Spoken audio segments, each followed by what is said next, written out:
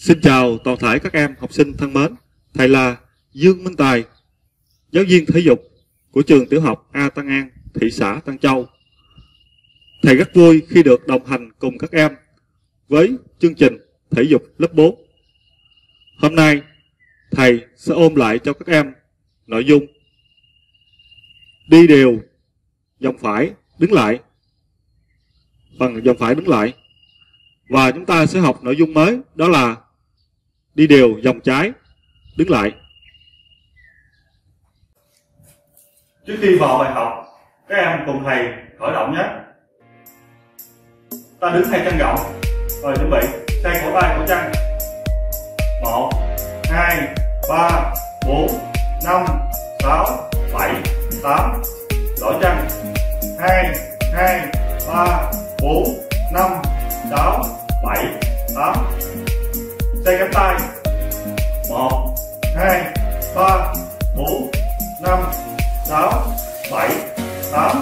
Ở chiều hai hai, ba, bốn, năm, sáu, bảy, tám. Xoay vai một hai, ba, bốn, năm, sáu, bảy, tám. Ở đều hai hai, ba, bốn, năm, sáu, bảy, tám. Xoay hông.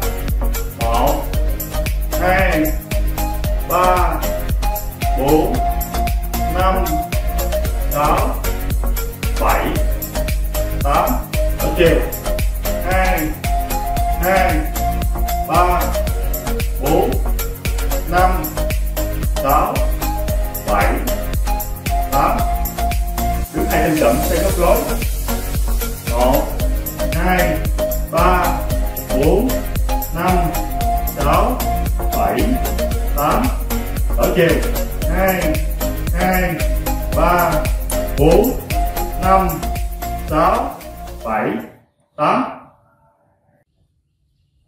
Tiếp theo là nội dung đi đều dòng phải, đứng lại. Về khẩu lệnh là chúng ta sẽ hô đi đều. Bước sau đó sẽ hô nhịp. Một, hai một hai một, hai. Ở khoảng này không hô nhịp nhưng chúng ta vẫn dậm chân. Ở hai khoảng này. Sau đó, vào nhịp một, hai một, hai. Sau đó, dậm chân trái. Hô, dòng bên phải và từ phải sẽ rơi vào chân phải. Sau đó chúng ta dậm chân trái. Không hô. Sau đó chân phải, hô, bước. Tiếp theo, sẽ hô một, hai. Ở phần này chúng ta sẽ nghỉ một nhịp. Sau đó hô tiếp tục. Một, hai một hai một, hai. Sau đó nghỉ nhịp. Và chúng ta hô, đứng lại. Thì từ đứng lại nó sẽ rơi vào chân phải.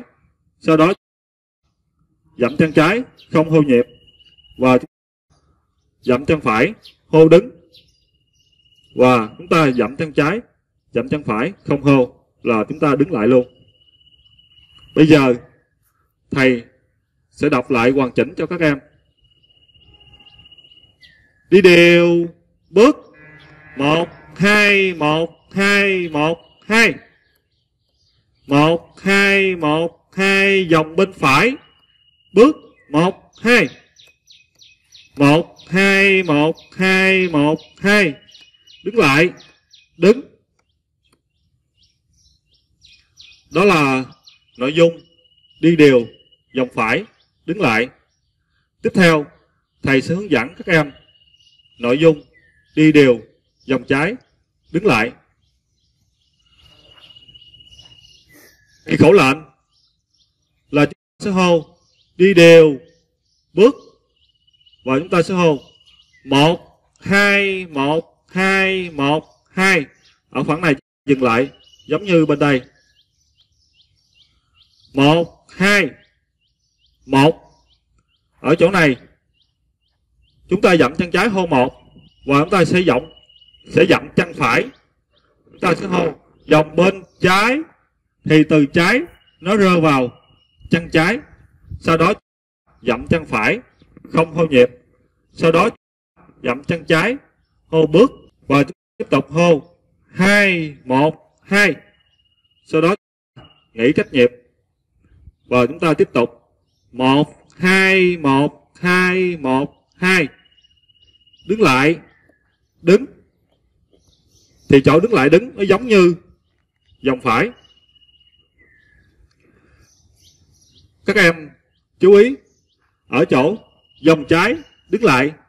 Thì chúng ở khoảng này chúng ta nhưng không đếm. Sau đó, lấy hơi và vào. Một, hai, một. Dòng bên trái. Bước hai, một, hai. Các em chú ý. Một, hai, một.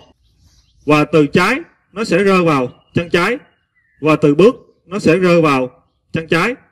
Nó ngược ở cái phần dòng phải. Ở phần dòng phải thì từ phải nó rơi vào chân phải. Từ bước nó rơi vào chân phải. Nhưng dòng trái thì từ trái nó sẽ rơi vào chân trái và từ bước nó sẽ rơi vào chân trái. Và chúng ta phải lưu ý chỗ này ha. Một, hai, một. Dòng bên trái, bước hai, một, hai. Bây giờ thầy sẽ đếm lại hoàn chỉnh cho các em xem. Đi đều, bước một, hai một hai một, hai một, hai, một. Dòng bên trái. Bước hai, một hai. Một hai một hai một, hai. Đứng lại. Đứng.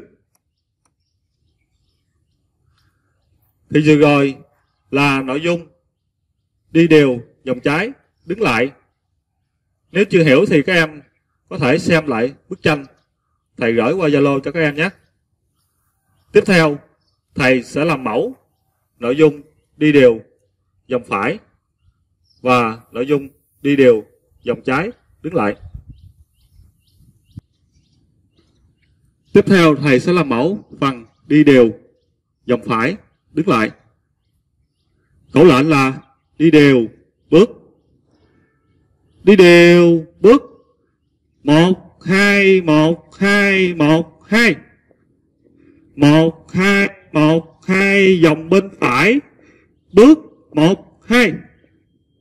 Một hai một hai một, hai. Đứng lại. Đứng. Các em xem thầy làm mẫu, lần thứ hai.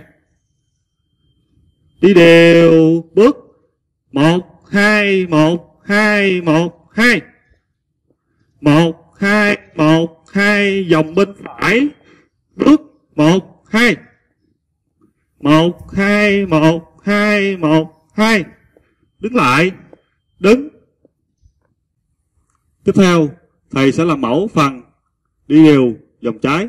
Đứng lại. Khẩu lệnh là đi đều, bước. Đi đều, bước. Một, hai một hai một hai.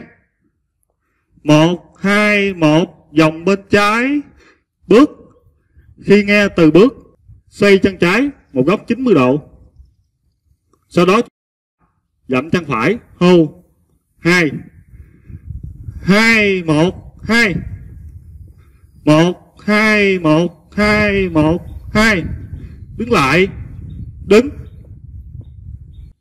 Các em xem thầy làm mẫu lần thứ hai.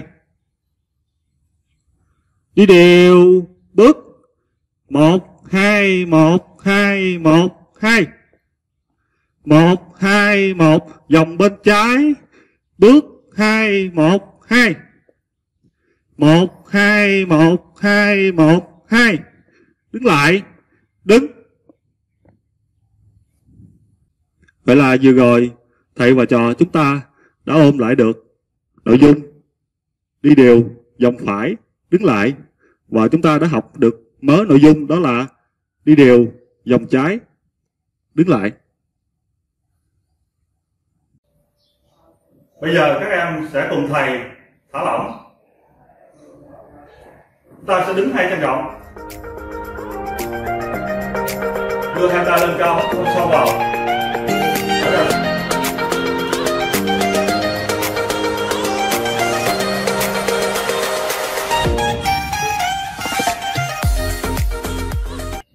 Hiện động tác này 5 đến 6 lần. Tiếp theo, ta thả lỏng chân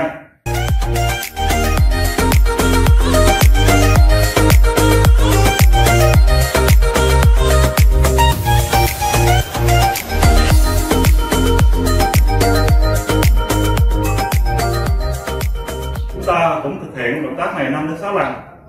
Thì buổi học hôm nay đến đây là kết thúc. Thầy xin chào các em. Bye.